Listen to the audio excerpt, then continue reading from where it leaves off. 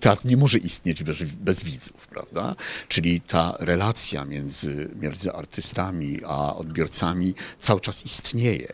Świat poszedł do przodu, przede wszystkim technologicznie, prawda? W związku z tym widzowie, którzy przychodzą do nas, doświadczają, myślę, e, w pełni e, sztuki teatralnej. Sądzę, że emocje, wiara w to, że budujemy ten świat dobra, piękna i prawdy, pozostał. Teatr zawsze miał takie utylitarne znaczenie, no zawsze przynosił, był platformą do przenoszenia pewnych wartości. Istotą teatru jest, by trwać na straży tych wartości i, i jakby nie patrzeć na koniunkturę, tylko działać w tej misji cały czas. Oczywiście czasami trzeba akcentować bardziej na rozrywkę, czasami na bardziej akcentować walor edukacyjny, natomiast ten główny nurt musi być cały czas e, podporządkowany pewnej misji, która trwa od, od wielu, wielu, wielu dekad, lat setek lat. Myślę, że artysta powinien doskonale orientować się we współczesnym świecie, wiedzieć jakie są trendy, wiedzieć y, jakie są problemy na świecie. Musi być takim trochę, artysta musi być strażnikiem pewnych wartości, pewnych idei.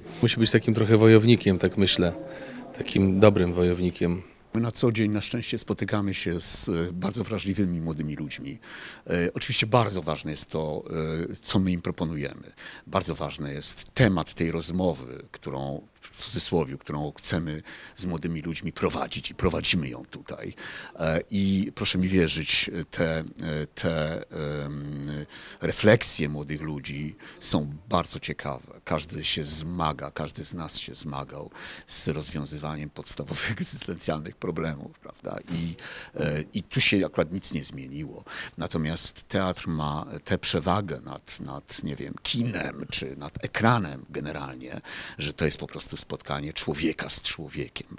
Jeżeli to ten jeden ma bardzo coś wielkiego, interesującego do przekazania temu drugiemu, to ten drugi jest tym zainteresowany. Miałem dzisiaj okazję e, podziękować zespołowi e, Teatru Lalki i Aktora w Opolu.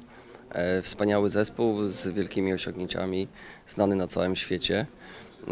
Teatr miał, ma za sobą kilka lat gorszych, w tym sensie jak wszyscy mamy lata gorsze za sobą, bo i pandemia, i wojna w Ukrainie to są takie momenty, które no, wpływają na tą bieżącą działalność.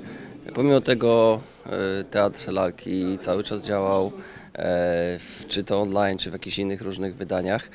Także to też wielkie podziękowania. E, świat mamy jaki mamy e, i warto, żeby odrywać się czasami e, w tą przestrzeń teatru, w przestrzeń sztuki.